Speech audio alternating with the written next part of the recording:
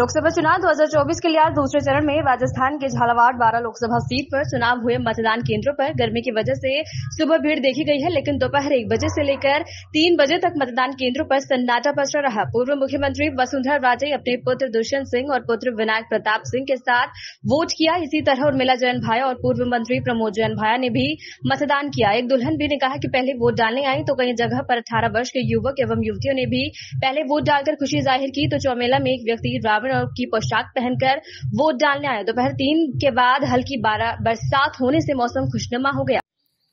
आज आपने पहला वोट डाला है। क्या नाम है आपका? समायरा खान। कैसा लग रहा है पहला वोट डाल करके? बहुत एक्साइटेड थी ऑफकोर्स पहला वोट डालने के लिए और मुझे बहुत खुशी हो रही है। आप आपके वोट से सरकार बनने जा रही है। आपको कैसा लग रहा है और क्या चाहिए आपको सरकार से? कैसी होनी चाहिए आने वाली सरकार? आने वाली गवर्नमेंट ऑफ़ कोर्स हमारी कंट्री के डेवलपमेंट के लिए वर्क करे ज़्यादा से ज़्यादा फीमेल सिक्योरिटी पे ध्यान दे। और ओवरऑल डेवलपमेंट अच्छा होना चाहिए हमारी कंट्री का। एजुकेशन पे ध्यान दे। यहाँ के एजुकेशन सिस्टम पे ध्यान दे। क्योंकि वो उस पर ज़रूरत है वहाँ। यहाँ का एजुकेशन सिस्टम इतना अच्छा नहीं है। गवर्नमेंट स्कूल्स की हालत बहुत बुरी है। वो डेवलप होने चाहिए और गवर्नमेंट हॉस्पिटल्स भी वहाँ पे सफ़ाई का बिल्कुल ध्यान नहीं रखते। काफ़ी सारी प्रॉब्लम्स है वहाँ पे भी। तो वो भी डेवलप होनी चाहिए यहाँ पे।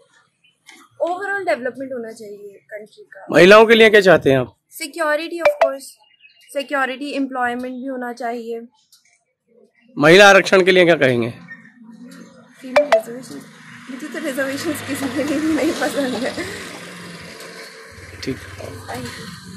कितने साल की उम्र है आपकी? 86 86 साल की उम्र है तो आपको होम वोटिंग नहीं करना है कि आपके बीएलओ वगैरह कोई भी? आया ही नहीं। अच्छा। आपने होम वोटिंग के लिए अप्लाई किया था? वो तो वही कर हैं हम क्या ये लोग वालों से बताया था पर उन्होंने बोला ही नहीं कुछ करा ही नहीं। शक्ल ही नहीं देखी भी ये लोग। अच्छा अच्छा अच्छा। कौन से वार्ड में रहते हैं आप? भाग संख्या क्या है?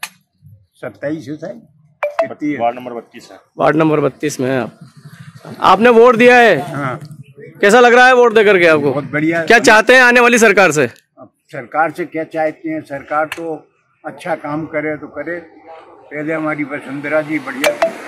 दस काम करती थी शहर के अच्छा। उन्नति भी थी भजन लाल जी आए हैं तो भजन लाल जी इधर आए ही नहीं आने वाली सरकार से क्या चाहते हैं आप?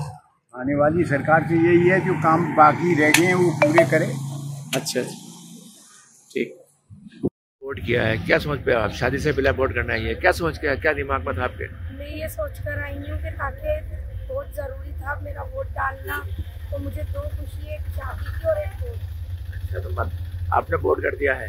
जी हाँ। है ना? किसने आपको प्रेरित किया इस मामले में? किसी ने भी प्रेरित किया। है ना? आपको लगा कि पहले वोट डालना ज़रूरी है? हाँ पहले वोट डालना बहुत ज़रूरी था। तो मैं सबसे यही अपील करना चाहती हूँ कि सबको वोट डालना चाहिए। आज हम मौजूद हैं झालावाड़ बारह लोकसभा क्षेत्र में और यहाँ से हमने जानकारी लिया दिन भर घूम करके कि क्या क्या वोट के परसेंटेज रहे।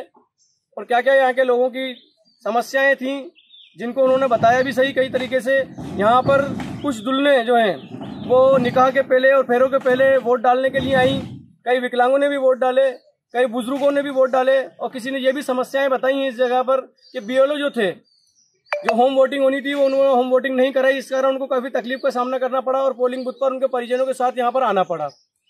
ये जो विधान, लोकसभा क्षेत्र है, ये पूर्व मुख्यमंत्री वसुंधरा राजे सिंधिया का गढ़ कहलाता है। यहाँ पर पूर्व मुख्यमंत्री वसुंधरा राजे सिंधिया के पुत्र दुष्यंत सिंह चार बार से सांसद हैं और पांचवी बार चुनाव लड़ रहे हैं। वहीं कांग्रेस से जो प्रत्याशी हैं, वो प्रमोद जैन भाया, जो पूर्व मंत्री रहे हैं, उनकी पत्नी है उर्मिला जैन भाया। वो भी दूसरी बार दुष्यंत सिंह के सामने मुकाबले में है। पिछली बार वो 2009 के अंदर तिरपन हज़ार और कुछ वोटों से पराजित हुई थी। इस बार देखने वाली बात है कि कांग्रेस को विजय मिलती है या बीजेपी को।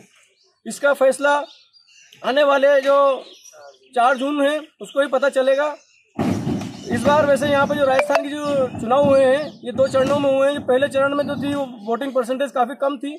और इस बार यहाँ की जो वोटिंग परसेंटेज है, वो पैंसठ परसेंट के लगभग पाँच बजे की अपडेट आई थी। उसमें बताया गया कि पैंसठ परसेंट से अधिक मतदान हुआ है। अब देखने वाली बात ये होगी कि ऊँट किस करवट बैठता है, जीत किसको हासिल होती है। झालावाड़ से एक्सप्रेस न्यूज़ भारत के लिए आसिफ शेरवानी की रिपोर्ट।